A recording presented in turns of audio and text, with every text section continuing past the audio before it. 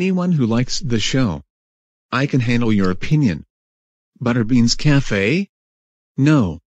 More like Kringagringe's Cafe. Oh my god. This show sucks. This show is a huge rip-off to Disney's Fairies. Which was way better than this. This show is about Butterbean and her friends named Cricket, Dazzle, Jasper, and Poppy, and they like to go on failure adventures. Butterbean is dumb. I bet if you ask her what's 6 plus 6, she will say it is 45. Jasper flies super fast. If he beats Ring Ring from Pucca in a race, he sucks for cheating, and Cricket reminds me of Cricket from Pig Goat Banana Cricket, the animation is garbage. The theme song is trash.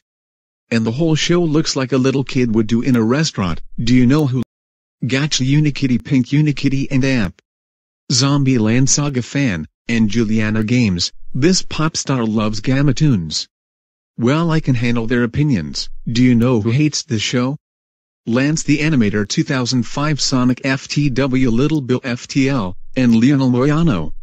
As for Lance the Animator 2005, he told me to put him in the spot, and as for Lionel Moyano, he hates that show with burning passion, Butterbean's Cafe sucks, and so does Sofia the First. If you like the show, please handle my opinion. Anyways, Mixels is 1000 times better than Butterbean's Cafe. End of rant. Next rant is a double rant, almost naked animals, and two more eggs.